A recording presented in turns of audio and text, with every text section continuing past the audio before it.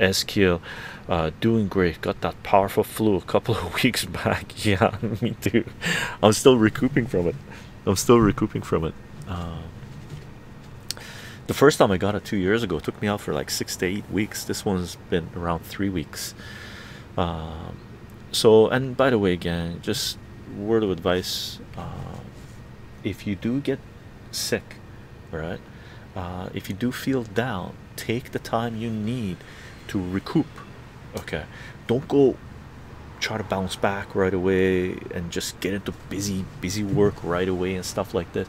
You don't want to do that. When you're when you're not feeling well or if you've been hit with a virus or something like this take your time.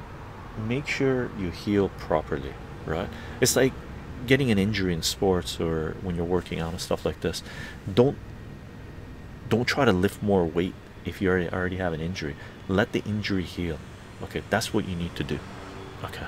Haha J toxicity great album great album. Thanks. I you know I worked my ass off for that album